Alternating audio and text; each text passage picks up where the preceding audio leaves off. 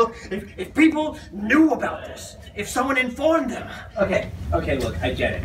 You told me about the clones and the Cortexa fan Yes. and that weird purgatory island. Yes, right? yes, yes. You said all that. But it doesn't change the fact that you pay the membership fee, you make the show, and then we air it. Okay, that's just the way it works. You should be paying me for this!